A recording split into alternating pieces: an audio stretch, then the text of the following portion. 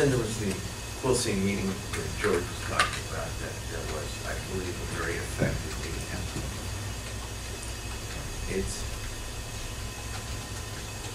you know, it's, there- there's so many projects that I think of that Quilcene could use, you know, like convincing somebody to come and rebuild Linger Longer Lodge and things like that as a echo um, center.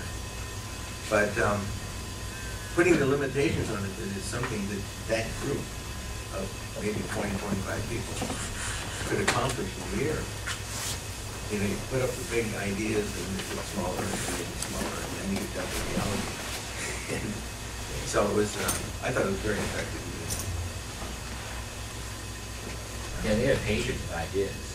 Oh, Yeah. we had, huge- And, and some of them they'll be working on the long-term ideas, but the idea of getting some short-term ones that you can accomplish in a right. year, it's always a good thing to get your momentum building. yeah.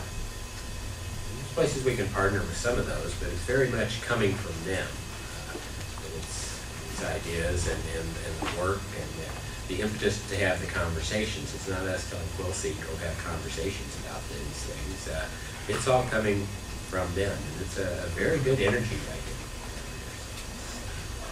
It- It's really inspiring to see. Yeah, and there's, you know, there's energy later that can be brought forward, you know, but my idea was, you know, the uh, Whistling Oyster, I think is a um, classic name for a brewery. It's wonderful. Whistling Oyster's been there for decades, before anybody moved there. Um, Anyway, it was, yeah, it was very, very interesting meeting. And sort of like in Fort Worden, it was brought up that Fort Worden is, uh, you know, made full. And the city I'm, is working very diligently through the PDA to keep Fort Worden open. And uh, they're agreeing that they're working on is that the, city, uh, or the PDA take over management operations of Fort Warden, but the state keep ownership of the board and, um, and obligate itself to capital improvement. So, um, I was going somewhere with that and it's gone.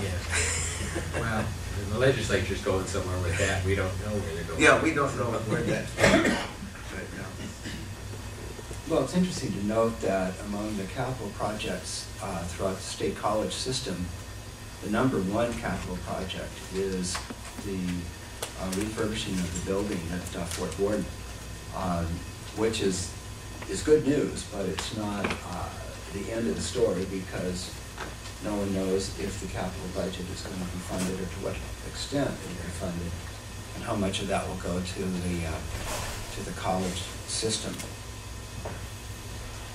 I, I remember my point was that, um, with Fort Worden, if they get two oh two re, remodeled for Peninsula College and Goddard College, the hope is that that will get enough inspiration going in the fort to, to inspire somebody to- from the outside to come in and, uh, take the, um, the old schoolhouse and turn it into a, a hotel basically. And, uh, And that's, that was my kind of thought, with Quell Seamless, if you get this impetus, this movement, and then you try to reach out for other companies to come in and take on some of these bigger projects. They do have a momentum.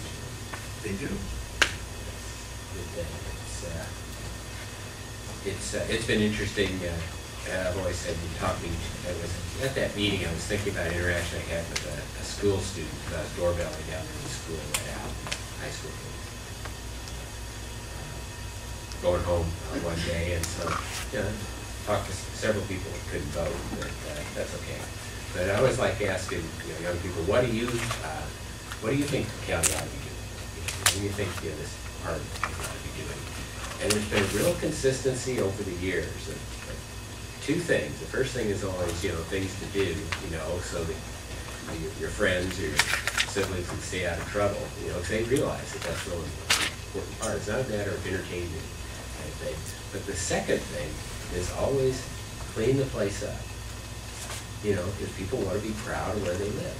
you know, it makes perfect sense, but, uh, you know, that, it- that is consistent no matter where you are in the county over the years. It's, uh, And it's their world, so I try to remember those two things.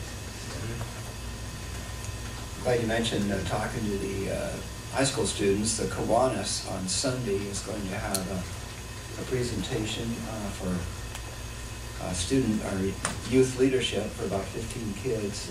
We've really done outstanding things uh, in and for the county. Uh, And I think it's great that Kiwanis is recognizing this and encouraging uh, these young folks.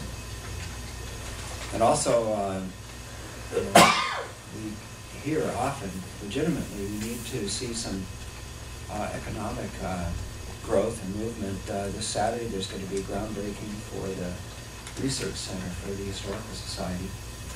Um, That means construction jobs and uh, a very welcome addition to that, uh, that organization that does so much to remember the history of this, uh, of the county here.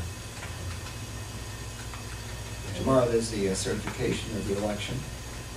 We all know how it turned out, but uh, it becomes official after tomorrow morning. Yeah, I talked about the Tom Mahan Awards uh, with Kiwanis. I've done that uh, for several years, and it's, it's always an inspiring thing because you get to, uh, they, they basically pair you up with uh, one of the award winners and their family, and so you get to sit with them and talk with them and uh, get to know uh, what they've been doing uh, more. And they, they, act- it's actually pretty easy to give you a written script, you know, to go from to uh, help present the award.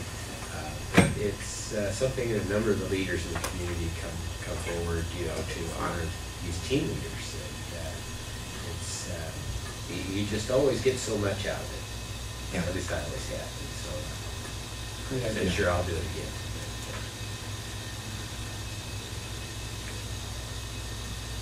Kind of Feed into our conversation later today about what we're doing with youth.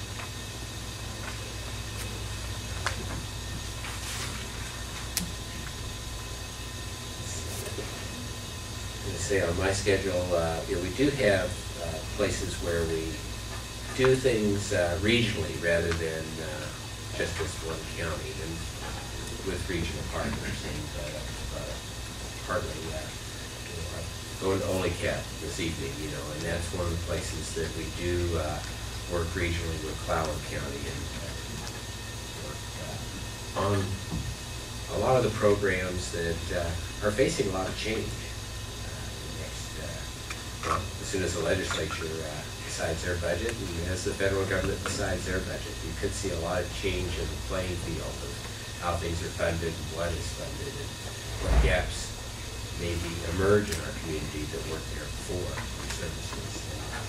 So it is going to be a real challenging time. It's something that we deal with uh, in just a variety of regional ways, though. Uh, People more likely to see it through Ole Cap in the area, the Joint Housing uh, Authority, or through O3A, uh, which is four counties, or the RSN that you're on, uh, three counties, there's different boards. and, We address those issues through on a regional basis rather than just a local basis. Uh, So uh, there's, there's work being done.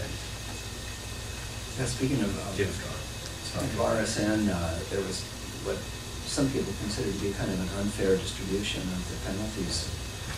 And uh, last week, we had a meeting of the RSN, and that was redistributed. So um, our local mental health centers not at such risk. We put a cap on how much they'd be expected to, um, to divvy up. And uh, down in Olympia, I was speaking with um, Senator Hargroves and his staff on uh, ways to restructure that entire penalty system because we don't really have a lot of control uh, over who's assigned to Western Washington State Hospital. And it's, uh, uh, it puts uh, small mental health centers at risk. So there's, there's some good movement there, and I was really pleased that uh, the commissioners from uh, um, from Kitsap County and from Clallam, they were willing to engage in a more equitable distribution. Speaking of regional meetings of the Hood Canal Coordinating Council last week in um, County. And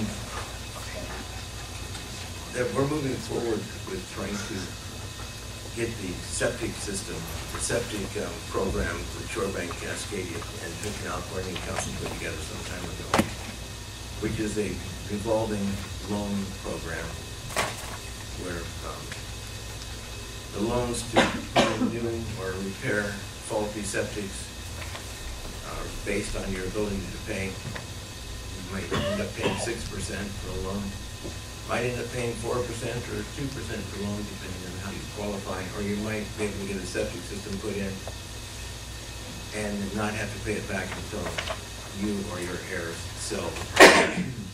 Um, And since it's a revolving fund and they have this ability, certain people can't, just can't afford it, have the ability not to pay it back. As a matter of fact, that's interest-free until you sell the property. Um, It kind of made it more difficult to keep a revolving fund going, so. um, The goal now, that, that fund was put together with uh, Shorebank Cascadia. um, Came up with a private money of five million dollars and the state put in three million. And and sixty some septic systems have been and um, repaired. And um, so now there, I would like to get your support later as well, um, once I get a drafted letter to see if we can get the state, they have no money, but uh, one point five million dollars from the capital fund, capital budget, then we would match the other one point five Shorebank Cascadia would, uh, to keep this program going, because it's a really important program. Yeah, it takes, a- a- a- it has to be thought of over a longer period of time, you know, if you're gonna have people keep until they sell the property, uh, it has to be capitalized enough up front so that you know, can start having that revolving fund effect. It's, uh, right. And so you really have to have enough at the beginning or to load it enough periodically early to get it going. Well, it's a- an extremely generous loan program. But very effective. Very effective, it's two hundred and sixty some septic systems have been, um, re- repaired or rebuilt. But it, uh, And some of them are extremely expensive, Oh, yeah. because they're right close to the water.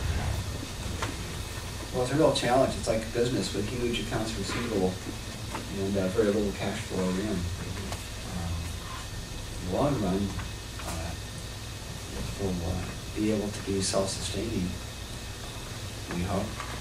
And the really positive thing about this program is that there is a faulty septic system and environmental health has to go talk to the families about it, we can say, well, we have this program. Yeah. And It really helps.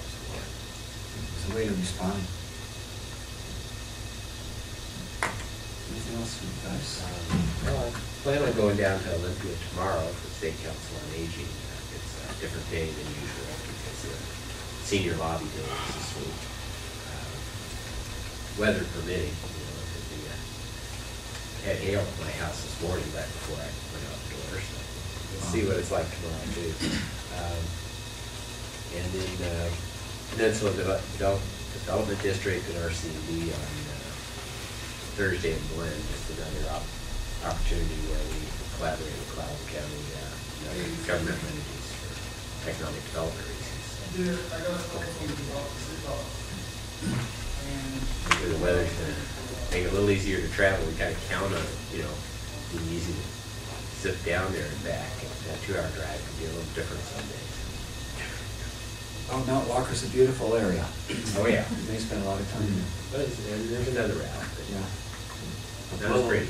My last trip through Mount Walker was perfect, because this, the snow line was about this high above the highway. Mhm. It's Just gorgeous, Oh, highway yeah. was dry.